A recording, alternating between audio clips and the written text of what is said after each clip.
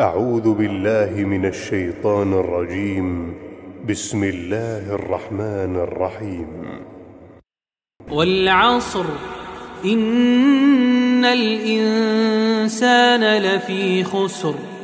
إلا الذين آمنوا وعملوا الصالحات وتواصوا بالحق وتواصوا بالصبر.